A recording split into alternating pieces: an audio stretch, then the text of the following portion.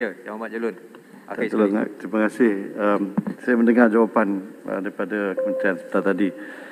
Uh, kita ni sebuah negara yang suatu ketika dahulu dikenali sebagai negara paling maju di kalangan yang membangun. Kita dah bina Putrajaya, kita ada KLCC dan sebagainya. Tetapi saya rasa sedih. Kerana pada hari ini kita masih lagi bercerita mengenai bahan makanan yang harganya tak terkawal dan tak cukup.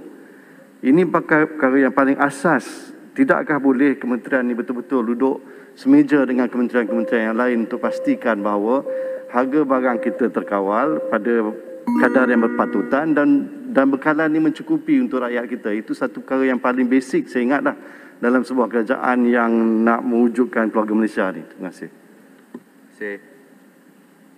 Uh, terima kasih uh, Jerlun.